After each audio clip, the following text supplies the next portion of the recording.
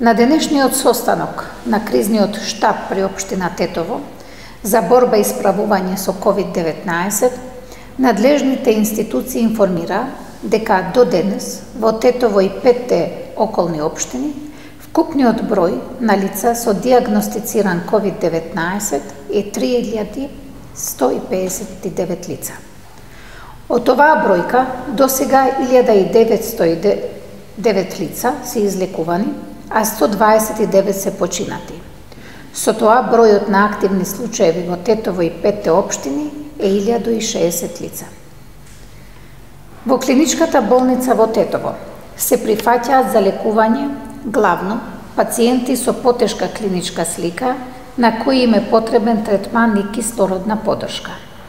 Во моментот 49 лица се хоспитализирани на инфективното оделение кои го добиваат потребниот здравствен третман.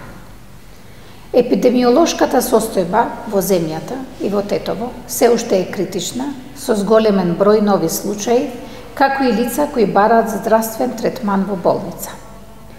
Исто така, клиничкиот центар во Тетово и покрај тешката епидемиолошка состојба и постојаниот обем на работа, продолжува да обезбедува други услуги од секундарната медицинска потреба на граѓаните на Тетово и пошироко.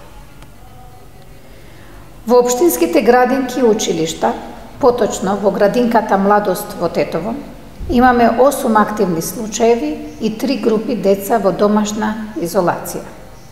Во основните училишта има 22 позитивни наставници и 8 оделенски групи во изолација.